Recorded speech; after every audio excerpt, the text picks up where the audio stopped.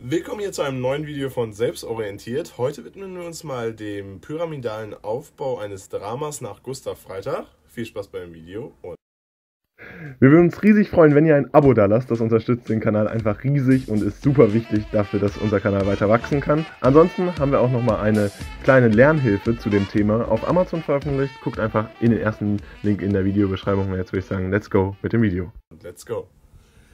Ja, es freut uns wieder riesig, dass ihr hier bei dem Video eingeschaltet habt. Heute widmen wir uns, wie gesagt, einmal kurz dem pyramidalen Dramenaufbau nach Gustav Freitag.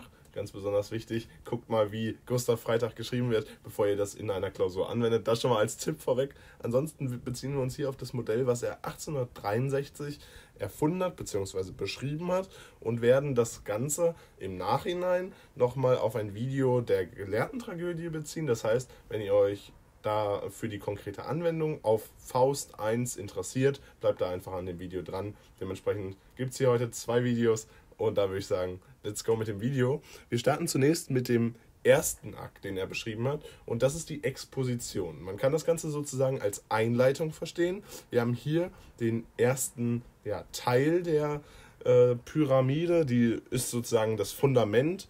Ähm, in dem pyramidalen Aufbau hat man sozusagen hier ähm, die Vorstellung der Charaktere, die Vorstellung der Szenerie und wir sehen außerdem, wie äh, das Stück aufgebaut wird, beziehungsweise wie das eigentliche Drama aufgebaut wird. Wir haben allerdings noch keine Dramatisierung.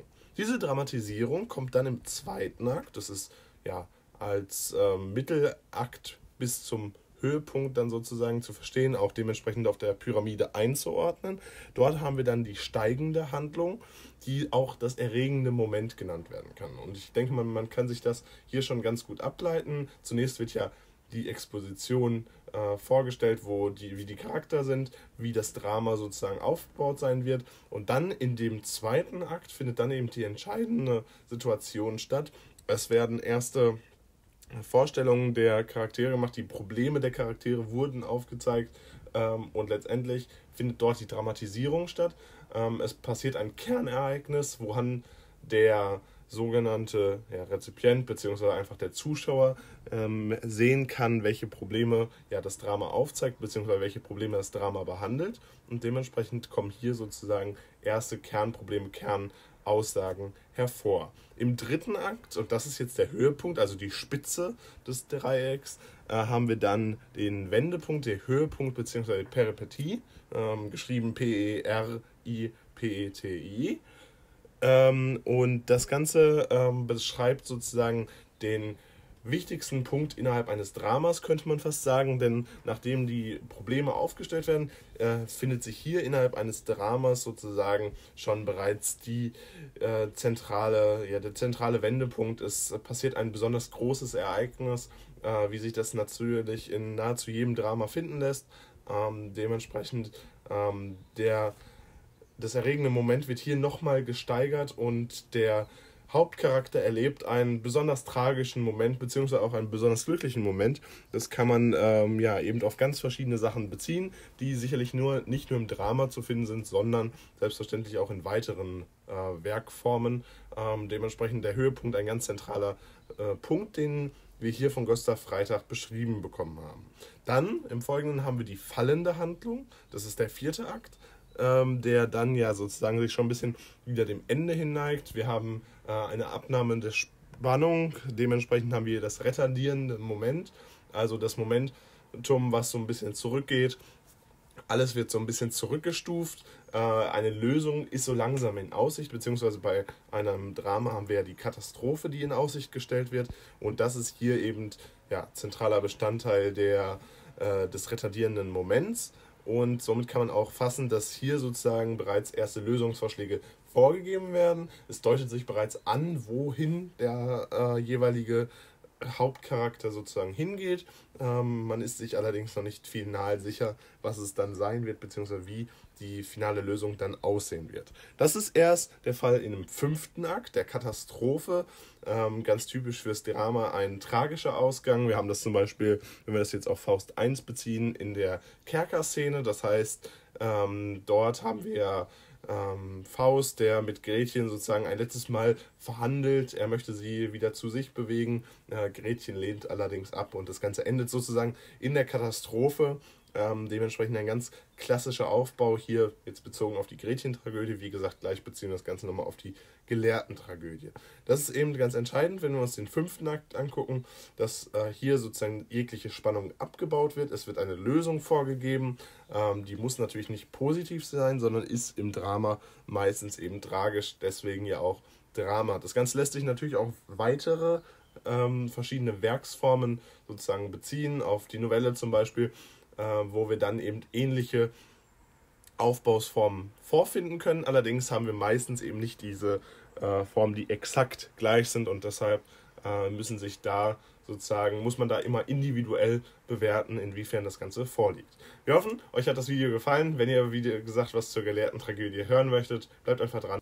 Ansonsten würden wir uns natürlich freuen, wenn ihr dem Video hier ein Like da lasst, äh, uns gerne ein Abo da lasst und einfach mal kommentiert, falls ihr noch weitere Vorschläge habt, was für Videos wir aufnehmen sollen. Das würde uns riesig motivieren und ist einfach super wichtig, damit der Kanal ein bisschen wachsen kann.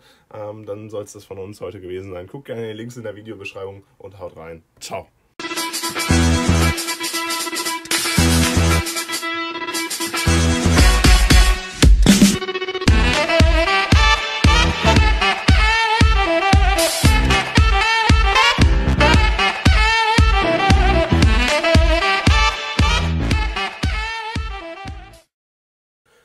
Hier zu einem neuen Video von Selbstorientiert. Heute widmen wir uns mal der Gelehrten-Tragödie aus dem Drama Faust I von Johann Wolfgang von Goethe. Wir wünschen euch viel Spaß mit dem Video. Let's go. Wir würden uns riesig freuen, wenn ihr ein Abo da lasst. Das unterstützt den Kanal einfach riesig und ist super wichtig dafür, dass unser Kanal weiter wachsen kann. Ansonsten haben wir auch nochmal eine kleine Lernhilfe zu dem Thema auf Amazon veröffentlicht. Guckt einfach in den ersten Link in der Videobeschreibung. Jetzt würde ich sagen, let's go mit dem Video. Vielen Dank, dass ihr wieder eingeschaltet habt. Heute soll es, wie gesagt, um die Gelehrten-Tragödie gehen. Dabei stellen wir euch einmal kurz diese gesamten Inhalte, äh, verschiedenen Elemente von Faust I bzw. der Gelehrten-Tragödie aus Faust I knapp und präziser dar und beziehen das dann anschließend nochmal auf den pyramidalen Aufbau nach Gustav Freitag. Falls ihr nochmal eine nähere Erklärung zu Gustav Freitag bzw. diesen pyramidalen Aufbau braucht, dann bleibt einfach an diesem Video dran. Wir haben euch das Video da hinzugefügt. Ansonsten, let's go hier mit dem Video. Ähm, wir haben hier bei der gelehrten Tragödie ja sozusagen das Streben Faust, was der zentrale Ausgangspunkt ist, was ja auch äh, zentraler Ausgangspunkt eben für die Wette zwischen Gott und Mephisto ist. Äh, das Ganze wird dann eben später auf Faust angewendet und Faust strebt nach der absoluten äh, Erkenntnis. Er möchte ähm, letztendlich alles wissen. Äh, er möchte wissen, und das ist jetzt ein Zitat, was die Welt im Innersten zusammenhält. Und das ist eines der bekanntesten Zitate, die wir hier aus Faust I entnehmen konnten.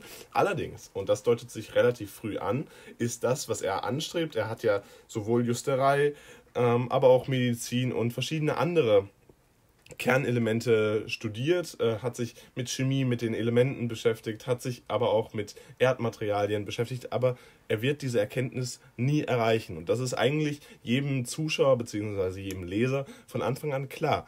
Doch ähm, eben wird in der gelehrten Tragödie dieses Streben beschrieben und dann letztendlich auch ja dieser Verlust des Strebens, dass er eben dieses Streben nicht umsetzen kann, beschrieben. Und äh, dementsprechend ist es sozusagen ein Streben nach dem Göttlichen. Allerdings hat er die Begrenzung durch das Menschsein. Und das ist ganz entscheidend, wenn wir uns jetzt die Entgrenzungsversuche angucken. Denn die sind eben Hauptbestandteil der gelernten Tragödie ähm, und sind da sehr wichtig. Wir haben da bereits schon extra Video zu gemacht, die ähm, nochmal etwas ausführlicher das Ganze erklären. Falls euch das interessiert, guckt da gerne auf unserem Kanal vorbei.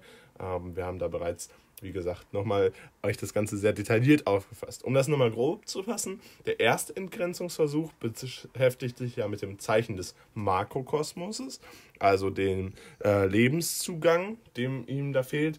Ähm, dementsprechend hat er das Problem, dass der Makrokosmos einfach nicht zugänglich für ihn ist und ähm, ihm sozusagen der Lebensbezug fehlt. In dem zweiten Entgrenzungsversuch haben wir dann die Beschwörung des Erdgeists.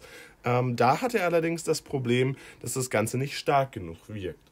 Und im dritten Entgrenzungsversuch da haben wir dann den Selbstmordversuch. Das heißt, er sieht sozusagen als finaler Ausweg nur noch die Entgrenzung durch seinen Tod, dass er sich sozusagen von der Welt flüchten kann und die Begrenzung des Menschseins eben aufheben kann, damit er das Streben nach dem Göttlichen erreichen kann.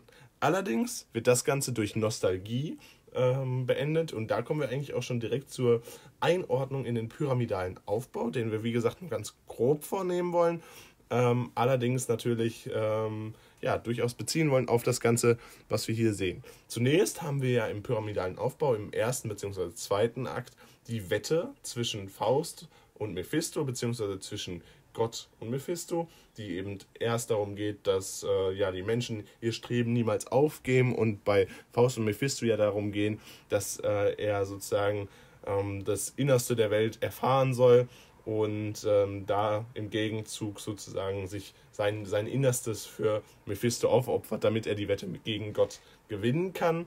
Äh, das sehen wir hier als steigerndes Moment. Ähm, dann haben wir innerhalb den ersten beiden Entgrenzungsversuche die Höhepunkte, die Peripetie innerhalb des ja, äh, pyramidalen Aufbaus und mit der Hexenküche ähm, geht das Ganze dann seinem Ende zu, der Entgrenzungsversuch, der Selbstmordversuch ähm, der dritte Entgrenzungsversuch dementsprechend ähm, deutet sich bereits an, dass das die Gelehrten-Tragödie beendet werden wird.